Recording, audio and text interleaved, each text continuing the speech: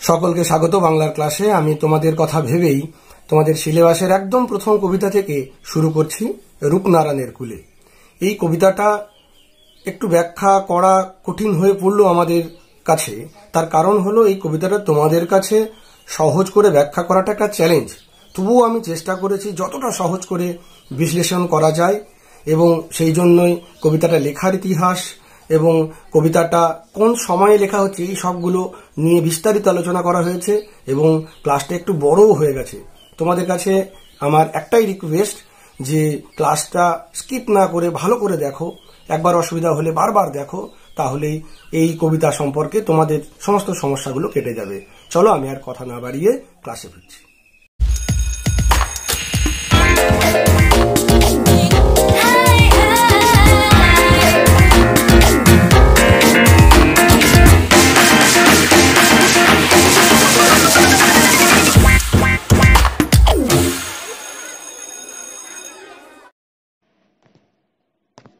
রূপনারায়ণের কুলে পাঠ্য তোমাদের কবিতাটি খুব ছোট হলেও অনেক ক্ষেত্রেই তোমাদের বুঝতে একটু অসুবিধার সম্মুখীন হতে হয়।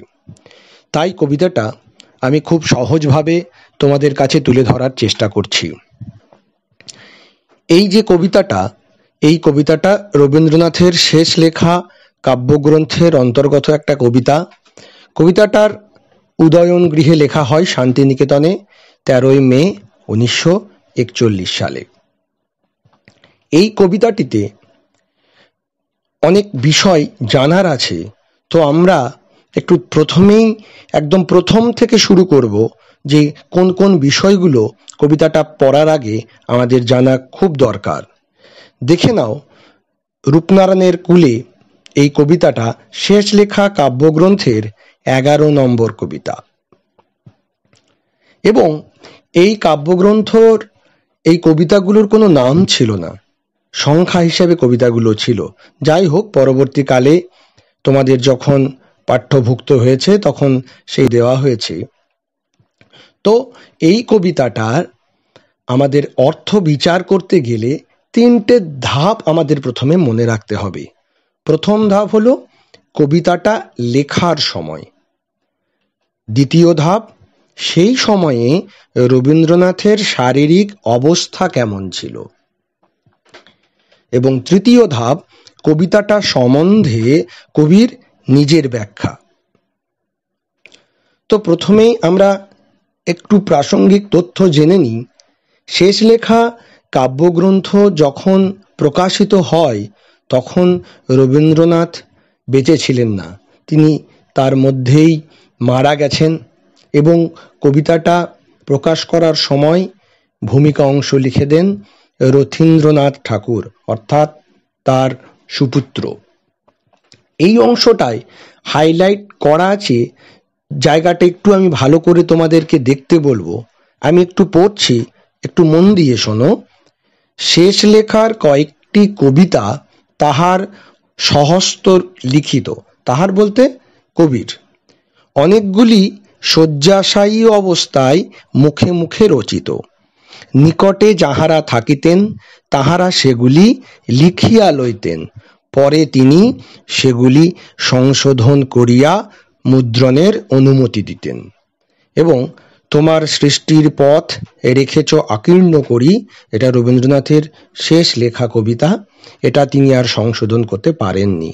তো স্বাভাবিকভাবে আমাদের পাঠ্য কবিতাটাও রবীন্দ্রনাথ নিজে হাতে লেখেননি। এটাও লিখে নেওয়া হয়েছিল। তো এই কবিতাটার সম্বন্ধে আমরা কয়েকটা প্রাসঙ্গিক তথ্য জেনে নেব। সেটা হলো শ্রীমতী রানীচন্দ্রের আলাপচারী রবীন্দ্রনাথ। এখান থেকে আমরা জানতে পারি মানে রানীচন্দ্র বলছেন, তার ডায়েরিতে লিখছেন, ভোরবেলা গুরুদেবের ঘরে ঢুকে দেখি তিনি তখনও ঘুমোচ্ছেন। তার বিছানার পাশে একখানি ছোট কাগজে লেখা আছে কয়েক লাইন কবিতা।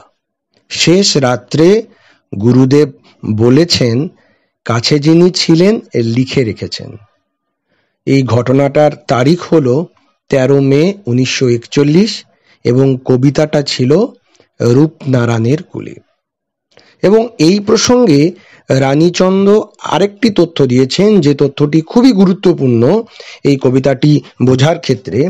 সেটা হলো, সকালবেলায় গুরুদেব জাগলেন, হাত মুখ ধোয়ার পর কফি খেলেন, পরে কবিতাটি তাকে দেখালুম যে কথাটি রথীন্দ্রনাথ বলেছিলেন যে তিনি সংশোধন করে দিতেন। তিনি কাগজটি আমার হাতে দিয়ে বললেন আরও কয়েক লাইন লিখে রাখ। সে কখনো করে না বঞ্চনা এবং মৃত্যুতে সকল দেনা শোধ করে দিতে। অর্থাৎ এই চারটে লাইন। তাহলে আমরা কি বুঝতে পারছি? আমরা বুঝতে পারছি এই কবিতাটা দুটো দিনে লেখা। এই তথ্য অনুযায়ী বুঝতে পারি, একটা রাত্রে লেখা এবং তার পরের দিন সকালে বা ভোরবেলায় লেখা। এবং আরও একটি তথ্য জেনে রাখো যে এই কবিতাটা লেখার আড়াই মাস মানে দু মাস, চব্বিশ দিন পর রবীন্দ্রনাথ মারা গেছিলেন, সাতই আগস্ট উনিশশো একচল্লিশ সাল। অর্থাৎ আমি যে তিনটি বিষয় দেখার কথা বলেছিলাম, তিনটে ধাপের কথা বলেছিলাম, সেখানে এখানে একটা ধাপ পাচ্ছি যে লেখার সময় এবং সেই সময়ে রবীন্দ্রনাথের শারীরিক অবস্থা কেমন ছিল। এবার আমরা চলে যাব যে কবিতাটা সম্পর্কে কবির নিজের ব্যাখ্যা কীরকম ছিল। রানীচন্দ্রেরই আলাপচারী রবীন্দ্রনাথ বইটাতে জানাচ্ছেন যে মানে রবীন্দ্রনাথ তাকে জানাচ্ছিলেন যে কথাটি, কবিতাটা সম্বন্ধে, সেটাই তিনি তুলে ধরেছেন এখানে। সেটাই তোমাদেরকে বলছি যে, সেখানে লেখা ছিল, আসল কথাটি কি জানিস? রাত্রি হচ্ছে ঘুমে স্বপ্নে অন্ধকারে জড়িত। এই স্বপ্ন মানুষের বুদ্ধিকে দুঃখ দিয়ে বেড়ায়। এই কুহেলিকা যখন সরে যায়, তখনই দেখা যায় সত্যের রূপ। আমরা রাত্রিবেলায় থাকি সেই কুহেলিকায় আচ্ছন্ন হয়ে। সকাল চাই কেন?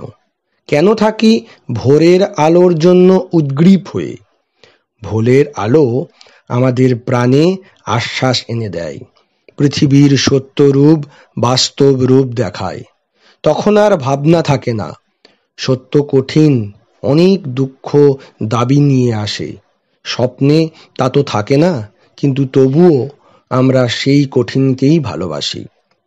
আমি বুঝতে পারছি বিষয়টা তোমাদের কাছে অনেকটা একঘেয়ে মনে হচ্ছে, কিন্তু এই বিষয়টা জানা খুব দরকার।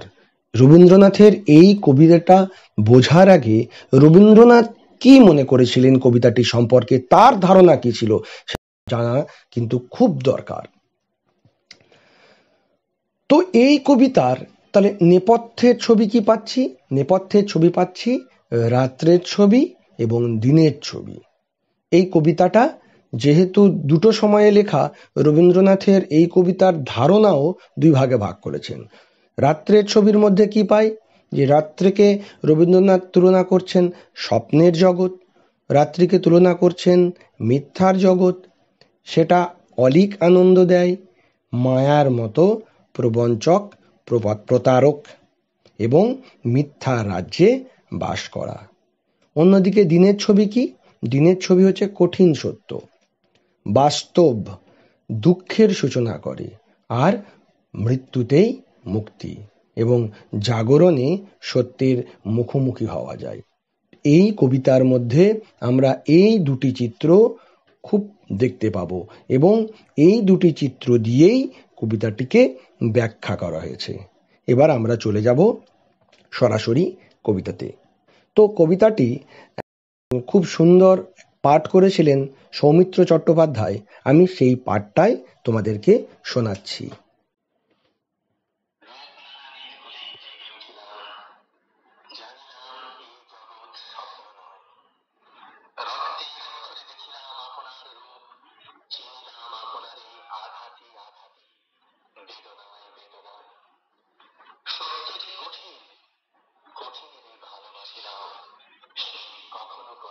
করছ না।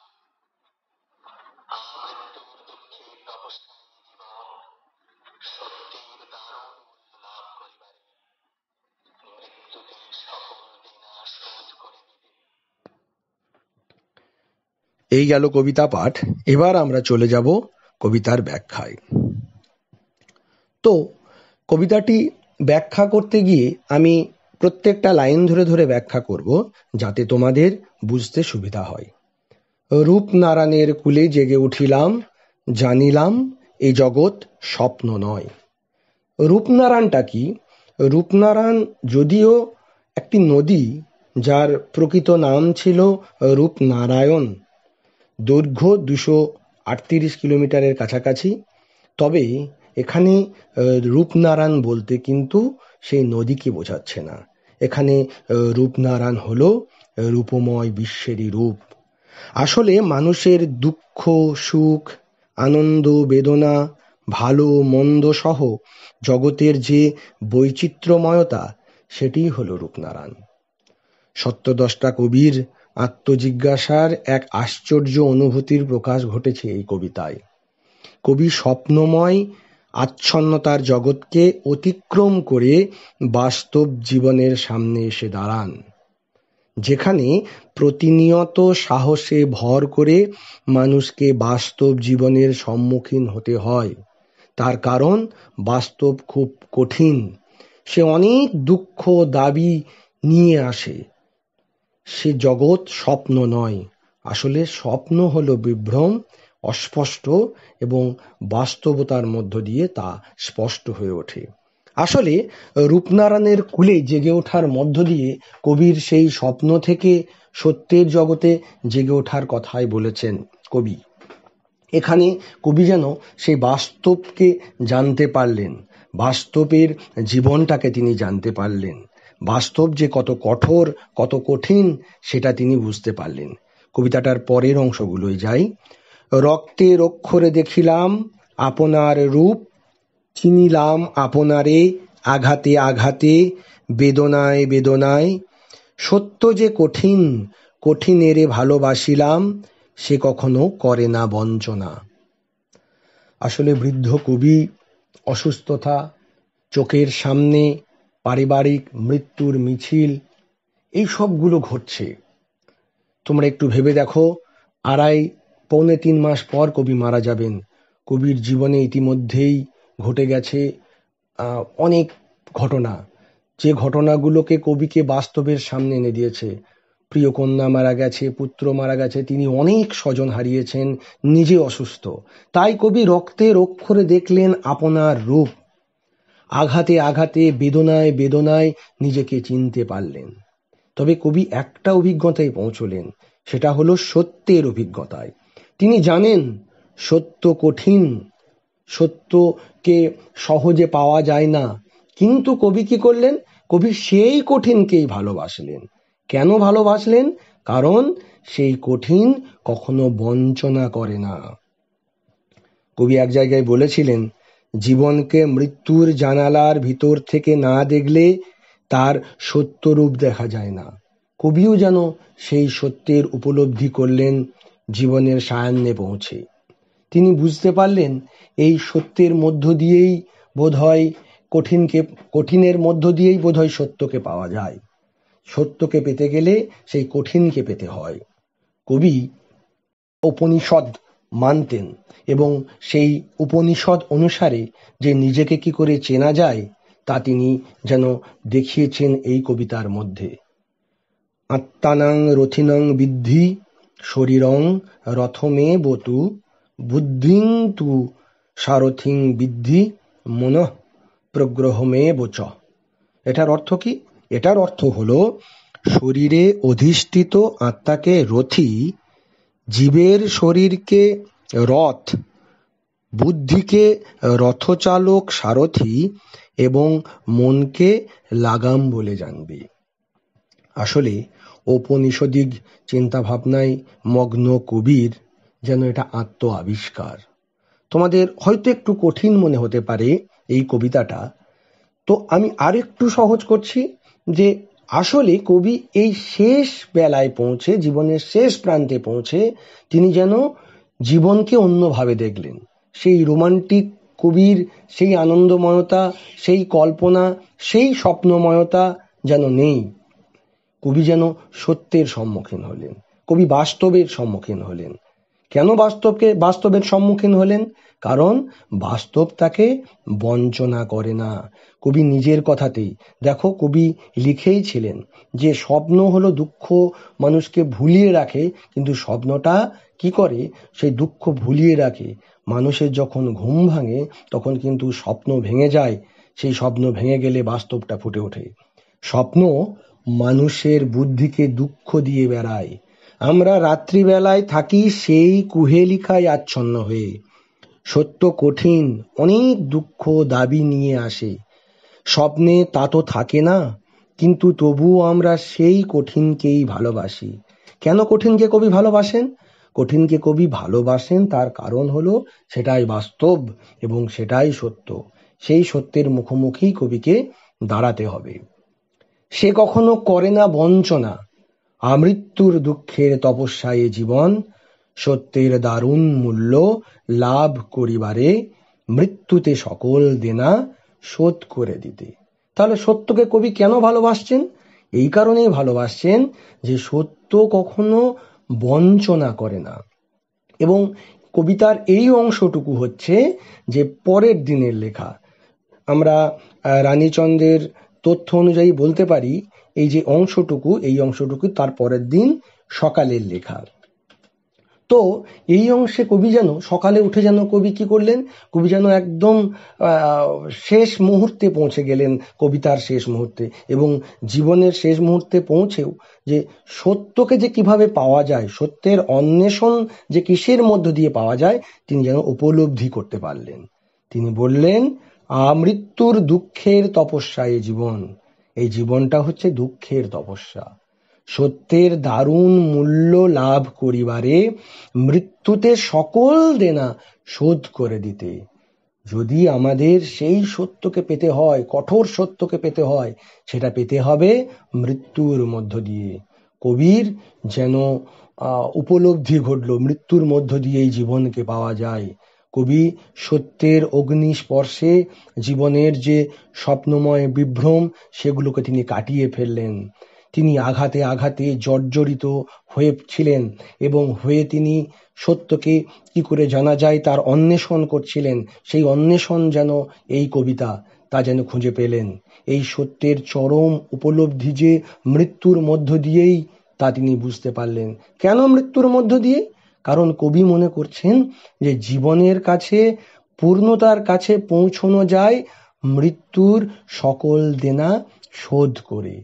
অর্থাৎ মৃত্যুর মধ্য দিয়েই কিন্তু, মৃত্যুর মধ্য দিয়ে যে আমাদের দেনা, সারা জীবনের যে দেনা, সেই দেনা যেন শোধ করে দেওয়া যায়। এবং তিনি অনেক আগে সোনার তরি কবিতায় বলেছিলেন যে, রাশি রাশি ভাড়া ভাড়া, ধান কাটা হলো সারা তো সেই কবিতায় কবি বলছেন যে আমাদের যে মহাকাল, তো সে সব কিছু নিয়ে যাবে, আমাদের ঐশ্বর্য নিয়ে যাবে, কিন্তু আমাকে নেবে না। তাই তিনি যেন সেখানে সোনার তরীতে তিনি আকুতি করেছিলেন যে তাকে নিয়ে যাওয়ার জন্য।